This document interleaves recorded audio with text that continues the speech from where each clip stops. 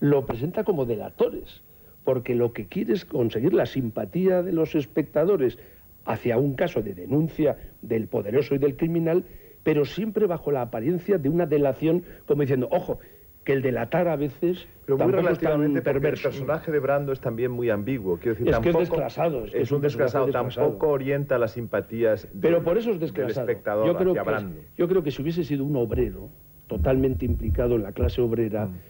No habría más duda que presentar Es lo el que hace protegido de como una Charlie, denuncia. su hermano, que es el guapo de En la cambio, banda. es que te lo presenta como una Sí. delación a sus propios compañeros, que son los poderosos, cuando no son exactamente sus compañeros tampoco. Él está. Pero yo ahora, vamos. Ah, perdón. si sí, no, vayamos al tema de la delación. Es que es un tema que me parece vital en la película. Es fundamental. Es la presencia, sí, sí, pero Ah. ¿por qué se produce? Y ahí hay un factor determinante. El tanto amor. en el cambio, exacto, tanto en el Claro. cambio de postura del cura Barry, como en, eh, evidentemente, el cambio de postura del protagonista, ¿no? Es decir, que es la aparición de Eddie, la hermana, Sí, que sí, sí. trata de eh, llegar hasta las Pero últimas consecuencias. De hecho, el cura ¿Desde eh, empieza sus eh, averiguaciones, sus investigaciones, empujado eh, por ella y luego es un factor determinante en la, en la decisión final de Marlon, la- el amor. Totalmente de acuerdo. Sí, Es un tema Es muy cristiano, ¿eh? Cuidado porque hay una especie No, no, el de amor más mediación es mariana. Por parte de Es que Eva Pero el amor, el amor... Es la- perdón, ahí- No, el amor no es, no es mariano. Exactamente. Pero en cualquier caso sí hay una Es que- figura del eterno femenino, es un, es un Es tema que es muy cristiano. Yo creo que es el- También está ahí. la mezcla que hay en la película entre la peripecia individual y la peripecia colectiva.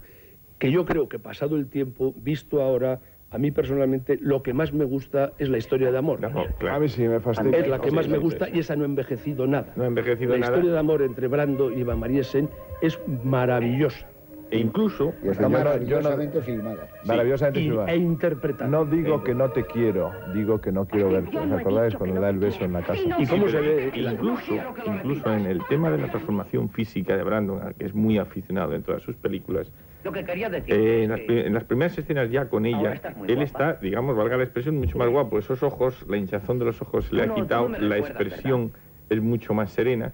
Y, eh, y la interpretación de Brandon vuelve a ser realmente prodigiosa. Por Yo la- creo Sí, que, Hombre, le dieron el Oscar, Brandon por cierto, que no lo hemos dicho, Sí, por sí, esta sí. película, su primer sí, Oscar. sí. Y a Eva María Sen Segundo, El Padrino. Y a Eva María Sen también. Ay, María Senta. El mejor actriz ya tuvo dudas ya tuvo dudas para ir a recoger este Oscar finalmente finalmente fue Sí. pero dudó dudó en ir a recoger Además, este creo que históricamente es, es la vez que un actor más joven ha conseguido el Oscar al papel protagonista, que Marlon Brando tenía 30 años cuando le dieron No el sé si los había Pues cumplido o no, pero vamos, es el año en que Y los tres 30. anteriores habían sido los tres nominados me consecutivamente. alegra coincidir Antonio en que efectivamente yo creo que lo que mejor eh, ha, digamos Pasa el ha- tiempo. ha pasado Sí, sí. eh, es el, el- es, eh, sobre lo que mejor ha pasado el tiempo de- sobre esta La película historia de amor. la historia del amor Sin duda. que es verdaderamente mm, preciosa permanente y tiene una influencia grandísima Hay unos de planos película. del- en la escena, en una verja, después de que ido por el parque, precioso. que la cara de Eva María Sen es que se nota que se está esa enamorando. verja aparece ese cuadro. La cara de ella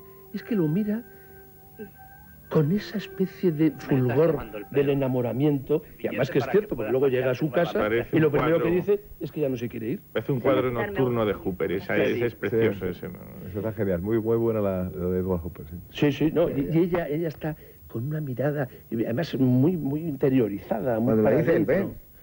Sí, ella no- eso. no sabe Pero eso es también el- Ven. Sí, sí, y no sabe si... El tratamiento de actores de caza, ¿eh? Sí, que tú decías y el antes, plano ¿no? siguiente es la casa, que ella llega, ve a su padre, le dice, "Ya vete con las monjas y tal, y dice, es que no me quiero ir.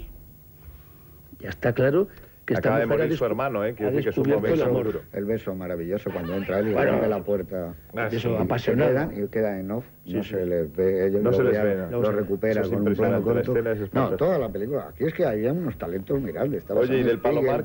Bernstein. Hay una escena, en esa, Palomar es escena simbólico también, muy bonito, ¿eh? Una Está muy presente, una este- eh, no sé si os eh, recordáis cuando entra en el pasillo a la izquierda, eh, se detiene la cámara muy intencionadamente también sobre un crucifijo que ahí Sí, sí, está en la pared. Sí, y Ese que- plano luego lo repito muy parecido en el este. El pasillo. Lo que yo no sé muy bien, al fondo, lo que yo no sé muy tumbado en bien el suelo. es, ¿Elia Kazan era católico o, o no, o no, se, o no se sabe? Ortodoxo, Porque- quizá. Porque la película o era... cristiano armenio. Yo me lo porque él preguntaba era de familia griega y armenia. Pero yo no sé Es que el ser- hecho de que la familia de la chica sea católica, ella estudie con unas monjas, el líder de todo sea un sacerdote católico, me da la sensación que es que Elia Kazan era militantemente católico. El cristianismo oriental de los armenios es de, de obediencia romana, ¿eh? quiero decir. Ya, no, ya, ya. Está, él crece en un mundo en que está entre los ortodoxos y los, los armenios, pero son, son católicos solo que con eh, O sea, particularidades. con una singularidad. Pero sí, probablemente sí. Ahí antes también. una palabra que yo creo que puede envejecer algunas partes de la película o no, pero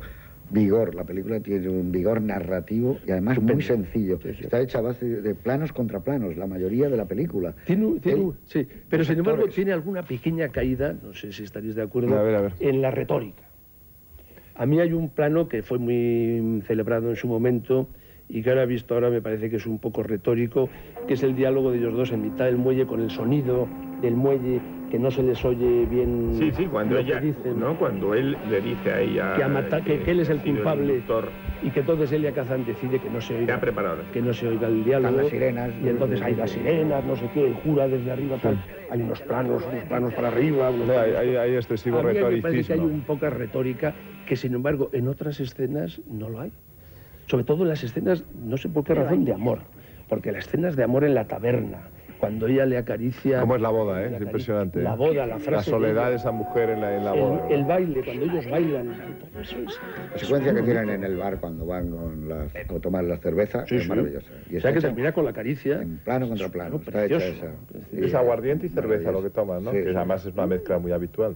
Y está muy claro, porque él sabe además que su gran fuerza son los- es la dirección de actores, actores, claro. el tempo narrativo, cómo hablan, las pausas, cómo se miran. Todo eso Y luego lo que decía Luis Alberto de del una Palomar, manera- que, que El. Palomar, es que Si quería decir una cosa el también que no se me olvide. Casi siempre viene después de una escena muy brutal, de uno de los asesinatos, de uno tal, funde en negro y aparece El palomar es que efectivamente el es como una, sí. una salida a toda la miseria y el horror de los muelles, es ese palomar que luego hay un homenaje muy bonito en una película que a mí me ha gustado mucho y que he visto hace poco, que es Ghost Dog, de Jim Jarmusch, no sé si la habéis visto, que también el protagonista, que es un killer a sueldo, tiene la afición de las palomas mensajeras. Entonces también hay una, hay una terraza donde él eh, está pasta. criando estas palomas No, hay mensajeras. mucho de parábola y de metáfora. Pero tienen una sé, excelente cuando dice las palomas son libres, son pacifistas, tal, Sí. pero siempre hay halcones. Son leales. Son leales. Son leales. Pero qué bonito que haya en Nueva Sí, York, ¿verdad? En, la- en las, eh, eh, en las cúspides de los rascacielos siempre hay un halcón. el De repente es una, una advertencia, cuidado, ¿eh? que, que hay Y halcones que en los el rascacielos. chico que matan al principio también tenga la misma afición, que en cierto modo les une, que son las palomas. la ley del silencio lo que trae a mitad de los años 50, sobre todo Kazan, es una crudeza distinta a la manera de contar las películas. Las películas son crudas, hay una calidad física, Sí, sí. la fisicidad. Que además, por de una los razón u otra, la película fue un impacto, un impacto mundial. No son suaves, dulces, sino que son eh, tiene aristas. Es una película llena de aristas, ¿no? Y, eso es como han pasado los años, lo que tú dices, y, y el tiempo te da la sensación de que Kazan debe ser como un hombre del Antiguo Testamento, de una enorme rigidez en sus ideas y en sus convicciones. Y eso a veces lo lleva a la pantalla y por eso algunas veces sus películas son enfáticas. Hay algunas películas, a mí por ejemplo por eso no me gusta, me parece que es demasiado enfático el tratamiento de Zapata, es tan, Sí, sí, es tan ideológicamente puesto El- en el Antiguo imágenes. Testamento está muy bien En cambio, visto. cuando trabaja, Nombre por ejemplo, en una película en bíblico. teoría menor, que es Pánico en las calles, a mí sí me gusta es que mucho. Pánico en las calles fue una primera película importante. Pero ya, eh, Richard Widmark, ¿no? Sí, claro, con las sombras, las luces, esa fisicidad de- de- de- del entorno, que nunca es un entorno, un Nueva York de comedia, por así decirlo, sino la crudeza. Eso lo retrata él muy bien, o lo de Este del Edén, que es su primera película en color, y además es un color que ha quedado. Sí, ha quedado. Ese es un tipo de color que no se ha olvidado nunca. Es una de las grandes películas que se han hecho en color, en la utilización del escope. escope, Oh, escope. en la interpretación, en cómo podía entender a un tipo difícil como Brando, pero James Dean debía ser otro tipo también muy difícil. Muy complicado. rodó, rodó tres películas que hay seguidas con, con Brando. Un tranvía llamado Deseo. Son las tres que hizo con él. Luego hizo una que fue un fracaso, eh, lo de los fugitivos, ¿no? De, Fugitivos del Fugitivos terror, del terror, un rojo. reparto muy grande, sí. Pero, pero ahí pero, trabajamos comprando nosotros. tres, ¿no? Sí, y luego ya la De tercera la Y en las tres la- estuvo nominado para el Oscar Brando y en Solo una la lo consiguió en esta. Y la en que esta. iba a haber Pero hecho, no, al final se torció e iba a haber hecho el compromiso. Era el protagonista del Ah, compromiso. Ah, no, la hizo pero que era fue Marlon Kirk Brando. Douglas. Al final no quiso hacerla. Oye, y Marlon el Brando, último porque entre ellos os tampoco se llevaban muy bien. Yo es que la recuerdo muy mal. 76, a mí me gustó. Yo recuerdo Es una película el muy extraña, partiendo ya de Es saben todos ustedes, la novela no es que esté inconclusa, es que hay tres capítulos Claro, hechos realmente de la novela. Francis Scott Fitzgerald, sí. Claro, el- eh, luego saca un magnate a una especie de Irving Thalberg que hace